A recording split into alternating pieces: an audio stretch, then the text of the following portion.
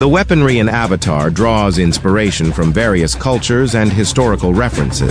Sokka's boomerang is reminiscent of Aboriginal Australians. Zuko's dual-wielded swords reflect Chinese martial arts traditions. Jet's hook swords borrow elements from both Chinese Jian and Shepherd's crooks. Sokka's space sword is modeled after the Chinese Jian known as the Gentleman of Weapons. It has multi-purposes like cutting, thrusting, slashing, and stabbing. For more history references in Avatar, watch the full video. Pretty slick, huh?